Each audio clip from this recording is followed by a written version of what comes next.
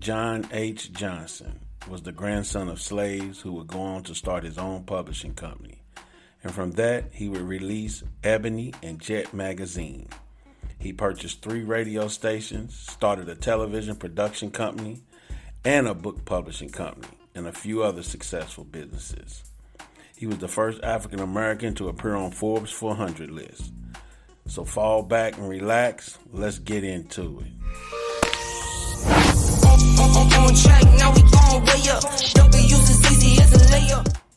John Harold Johnson was born January 19, 1918, in Arkansas City, Arkansas, to Gertrude and Leroy Johnson.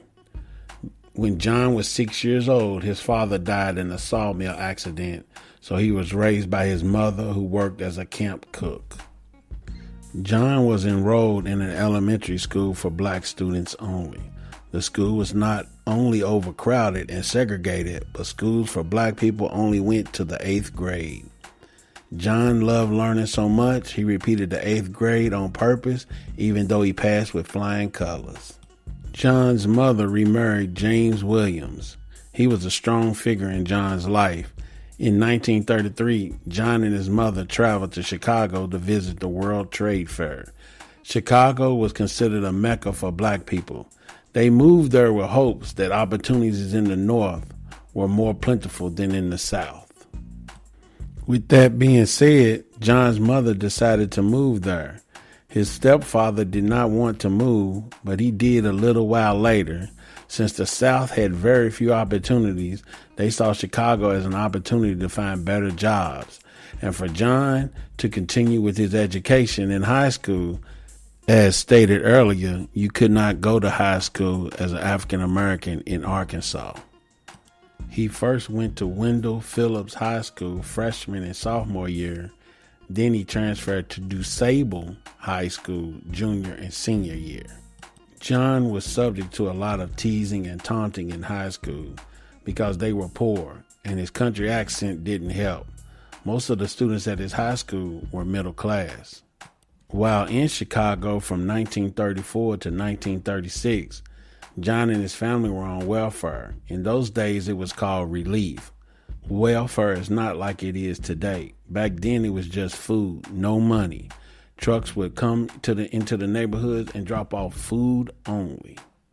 Some of John's classmates in high school were Nat King Cole, Redd Foxx, and the future entrepreneur William Abernathy.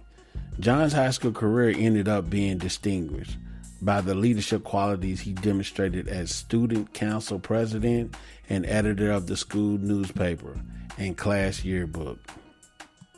He attended high school during the day and studied self improvement books at night. He graduated with honors and was offered a scholarship to the University of Chicago. He almost declined the scholarship because he could not figure out how to pay for the other expenses besides tuition. Because of his achievements in high school, John was invited to speak at a dinner held by the Urban League. When Harry Pace, president of Supreme Life Insurance Company, also a black man, heard John's speech, he was so impressed with the young man that he offered John a job so he would be able to use his scholarship. John began as an office boy at Supreme Life Insurance, and within two years he had become Pace's assistant. His duties included preparing a monthly digest of newspaper articles.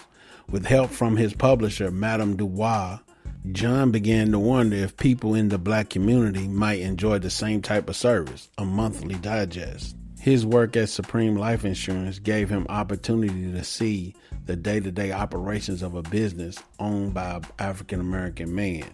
This inspired his dream of starting his own business. Once the idea of a digest occurred to him, it began to seem like a black gold mine. John stated this in his autobiography titled Succeeding Against All Odds. He remained confident even though he was discouraged from everyone around him. He was turned down from bank loans and any investment capital. The only person that believed in him was his mother, who had a powerful belief in her son. She supported his vision and allowed him to use her furniture as collateral for a loan of $500. He used the loan to publish the first edition of Negro Digest in 1942. Harry Pace gave John access to Supreme's 2,000 policyholders. John wrote to the policyholders requesting $2 per subscription. He eventually generated $6,000 from Supreme Liberty's policyholders. His wife Eunice helped him with chores and a wide varieties in different areas. His office was a small corner of the law library located inside Supreme Liberty's building. He published the first 5,000 copies of his issue in November 1942. He mailed 3,000 copies to his prepaid customers and gave the rest to a well known distributor named Joseph Levy. But he was told that African American publications did not sell so well, so newsstands owners would not keep them. He developed a unique sales strategy. John would ask his friends to secretly go around to different newsstands asking for Negro Digest. The newsstands owners began to think there was a demand for it, so they started to keep the publication on their stands. John would eventually give his friends money to buy all the copies of the journal, which he sold back to the newsstand owners. John used the same strategy in other cities. He used a different strategy in the South. He would sell the magazine in cotton fields, parks, and on buses. Within eight months of the circulation of his magazine, he had reached 50,000 customers. John resigned from Supreme Liberty in September 1943. That same year, John bought his own building and set up his offices. Since Negro Digest was published in digest form and most readers wanted magazines like Life and Look, John launched Ebony Magazine. His wife Eunice gave the magazine its name. The first issue of Ebony was published in November 1945. The magazine was a complete success as the first 25,000 copies were sold out in the first few hours. This triggered John to print another 25,000 copies. Initially, John did not include advertisements in his magazine, but depended solely on subscriptions. But in 1946, John began to carry advertisements.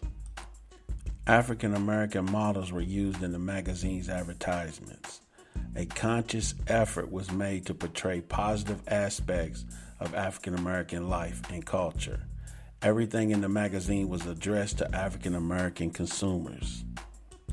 John maintained that Ebony's success was due to positive images of African Americans presented in the magazine. In 1951, John launched Tan, a true confessions type magazine. That same year, he started Jet, a weekly news digest, and a couple other publications called African American Stars and Ebony Jr., a children's magazine. Although all the magazines achieved a measure of success, none of them as big as Ebony magazine. In its 40th year of publication, Ebony had a circulation of 2.3 million, and the primary reason John was considered one of the 400 richest individuals in the United States and was the first African American to appear on Forbes 400 list. John's most notable issue of Jet was the September 15, 1955 issue in which he published a picture of Chicago youth Emmett Till's mutilated body after it arrived in Chicago from Mississippi. People consider John's decision to publish Emmett Till's photograph his greatest moment. Congressman Charles Diggs recalled that given the emotions the image stimulated, the issue was probably one of the greatest media products in the last 40 or 50 years. John's company, Johnson Publishing, owned Fashion Fair Cosmetics, the world's number one makeup and skincare company for women of color, and Supreme Beauty Products, hair care for men and women. Johnson Publishing was also involved in television production and produced the Ebony Fashion Fair, the world's largest traveling fashion show, which has donated over $47 million to charity. Johnson's Publishing also has a book division, which employs more than 2,600 people with sales over 388 million. John also purchased three radio stations and served on the board of directors of several major businesses, including the Greyhound Corporation. Now that's aggressive intelligence.